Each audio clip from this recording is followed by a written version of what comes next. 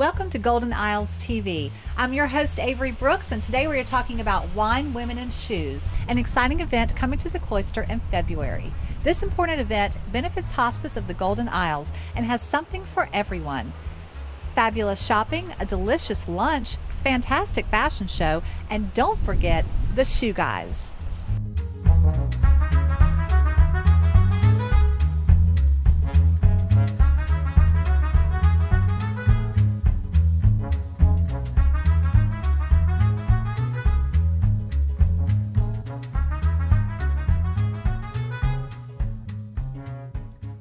Hi, welcome to Golden Isles TV. We're talking about wine, women, and shoes, and I am so excited to be with the co-chairs for this year, the third annual Wine, Women, and Shoes, Sissy Thompson and Laura Lee Frazier. How are y'all? Great. How are you this morning? Good. How are you? I am good. Thanks for being here. Um, this event is so important. This is the third year, and it raises money every year for hospice. Tell me a little bit about that and why it's so important. Well, it's our third um, annual Wine, Women, and Shoes event, which is presented by the Auxiliary of Hospice of the Golden Isles, which benefits Hospice of the Golden Isles and serves five counties, which is so important. Absolutely. Yes, it is very important. We love putting on events like this. Well, this is such a fun community event. It's going to be held um, at Sea Island at the Cloister.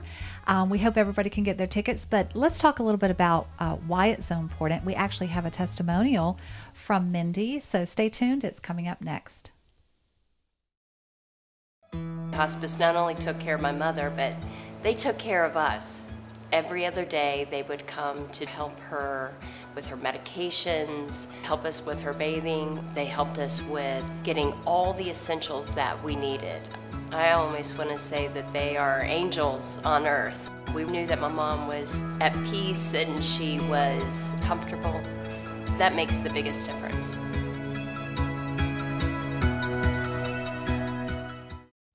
Hi, and welcome back to Golden Isles TV. We're here talking about wine, women, and shoes, and I am here with the two co chairs of this year's event.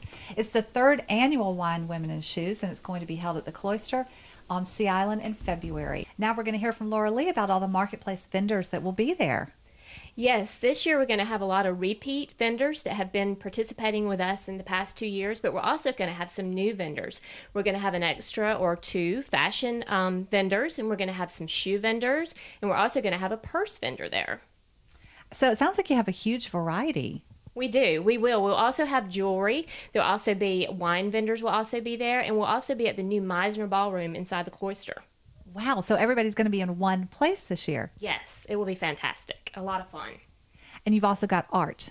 Yes, we do. We're going to have our silent auction again where you can bid on some items that you would like to buy, and we're going to have our live auction again.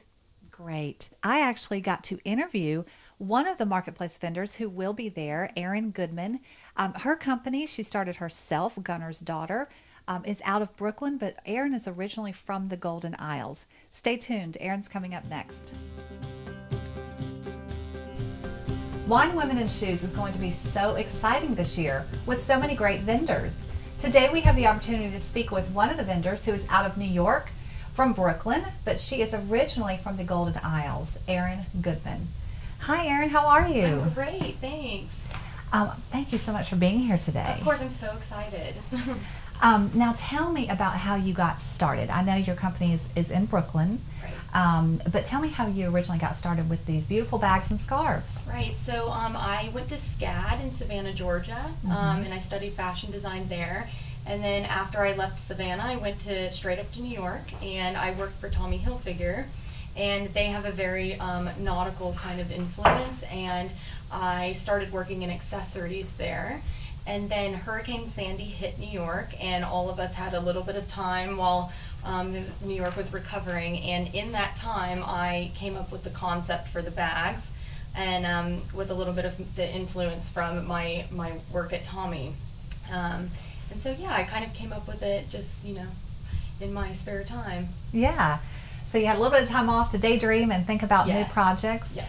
Um, you're originally from the Golden Isles, so tell me how what it was like growing up here on the coast. Well, when I was growing up, you know, everyone takes things for granted, and after I moved away, I realized how fortunate I was to grow up in such an amazing, gorgeous, like scenic area. And um, every time I come back, I just am more inspired every time. So um, it was it was lovely when I I have wonderful memories of my childhood and and going to the beach and things that other people just are amazed by um, when you tell them, oh, I grew up on an island.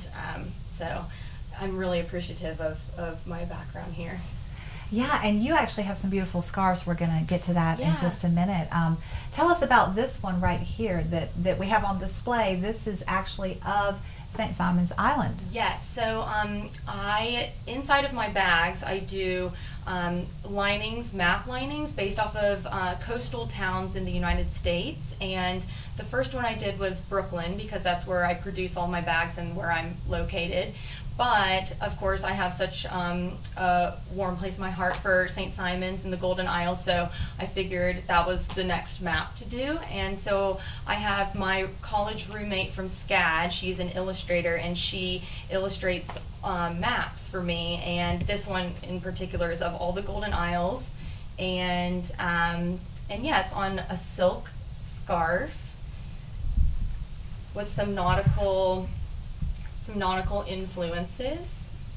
Um, I have some some of the rope and some of the brass hardware from the bags is actually on the scarf to tie back to it, and um, it's lovely. And when you wear it, you can see the water lines, and it almost looks like like water wearing around your neck. So it's quite lovely when it's on.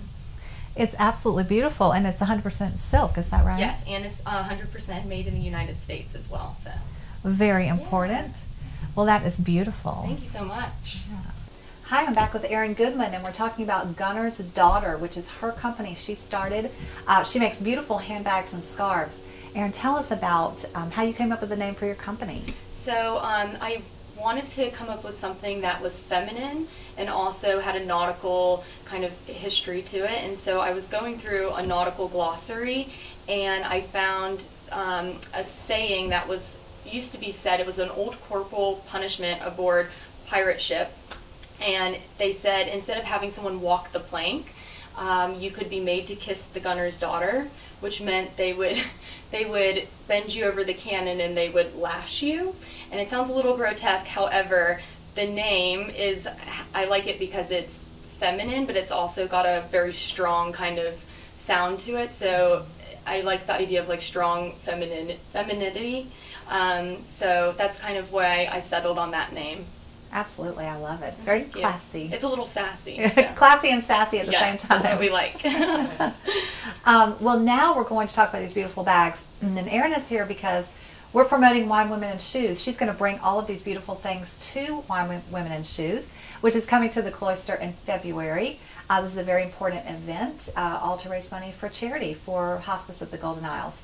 Tell us about these bags. Let's get one of these Yeah, of bags and, um, and look inside and, and Yeah, definitely. So the bags came before the scarves, and um, I wanted to do something that was 100% made and sourced in the United States. So a lot of places um, you see it says made in the USA, but all the materials might not be from the United States, which is fine. But um, I really wanted to make that a mission statement of what I make because I think it speaks to the quality. So um, it took me about two years to find all the people who are making the leather, the chain, the brass, hardware, um, and then the people who do the silk and the bags. So um, it's been it's been a process, but it's been really gratifying and rewarding because you feel like you're um, making a really amazing quality product, and it's also all domestically made and sourced. And those are it's American small businesses that we're supporting, and um, and I'm also an American small business, so it's great to work with other people similar to myself. Um, but anyway, so the bags come in leather and canvas, and inside of the bag is, like we were speaking about the scarves, is the maps of of the different coastal towns. This one is the Golden Isles, and um, and there's a little pocket inside for your cell phone, and it, it's a really just kind of general shape that you can fit your iPad, your phone, your keys, just your necessities, and you can kind of wear it all day. Um, another unique feature about the bags is that the straps are interchangeable. So, for example, this we're displaying this one with the chain strap. Um, this one is kind of meant for a little bit more formal occasion, But if you want to wear it, you know, out to the grocery store or wherever, um, we have the leather straps, and you can easily put those in with the um, the brass hardware, which is inspired by boat boat hardware that you would find like on a sail. Um, so yeah, So many interesting parts to this bag. Um, it's beautiful, but I will say it's also very sturdy. yes, Um, you can wear it cross body, Yes. right, or just over your shoulder. So lots of different ways to wear it. Yes. Um, and it's beautiful. well, thank you so much. Yeah. Um, yeah, it's we're happy with it, and we hope that other people will, will see them and like them also. So Absolutely. yeah. Um, and they come in different colors. Yes, so we have this is called teak, and it's a tan, and it looks really good with pretty much everything. Um, this is the Atlantic blue, which is a very deep navy, and sometimes it reads as black, which is kind of nice, but in the sunlight you see that it's actually a navy. And then we have um, the canvas version, which is really great for summer, and that also comes in a navy color as well. Absolutely. So fall, winter, spring, maybe you Exactly. could buy one for every season. Exactly, that's the idea. So Yeah. yeah, Well, thank you so much for being here today. of course, so Uh, happy to be here. Yeah, and we will see you at Wine Women and Shoes in February with all of these beautiful things and more. Yes, yes, thank you so much. Thank you.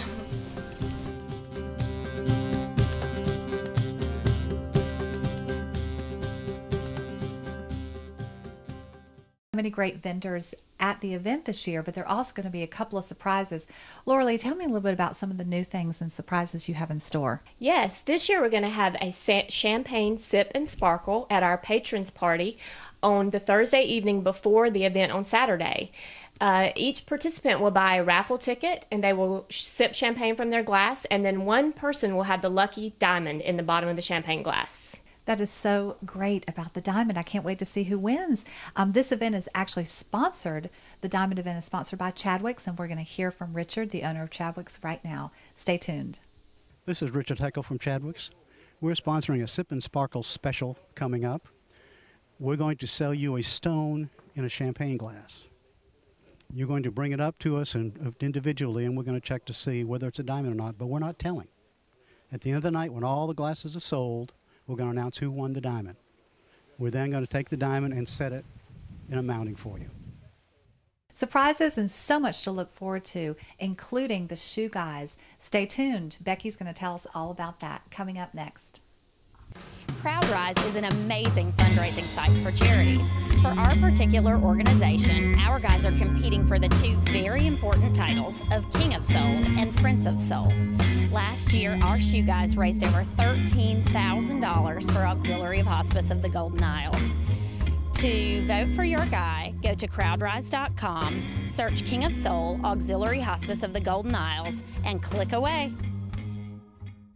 The Wine Women Shoes event takes place on Saturday, February the 20th, 2016, from 11 a.m. to 3 p.m. You can purchase tickets online at winewomenandshoes.goldenisles.com.